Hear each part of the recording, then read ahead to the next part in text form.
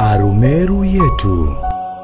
Nitumie fursa ya kutokea kwa janga hili kuviagiza sasa halmashauri yetu ya Arusha na halmashauri yetu ya Meru, kuanzia leo tusingependa tena kuona ujenzi wa vyoo vya shimo moja kwa moja.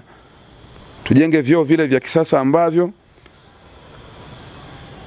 choo kitajengwa hapa chini, tunaweka miundombinu ya mabomba yakiwemo PVC, alafu ile septic tank au ile lile shimo sasa la kukusanyia uchafu tunalijenga mbali zaidi na eneo ambalo wanafunzi watakuwa wakiingia na kujisaidia na kujisitiri, na ramani ipo kwenye halmashauri zetu.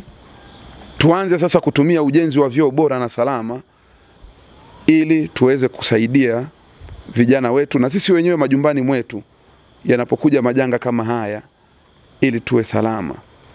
Hii ndio njia ya kisasa ya ujengaji wa vyoo, na ni matumaini yangu katika maeneo yote sasa ambayo tunaendelea na ujenzi, basi tutazame hali zetu, na kama basi tuko vizuri, tuanze sasa kujenga vyoo vyenye miundombinu inayotusaidia hata wakati huu wa matatizo, basi ile miundombinu inakuwa pale.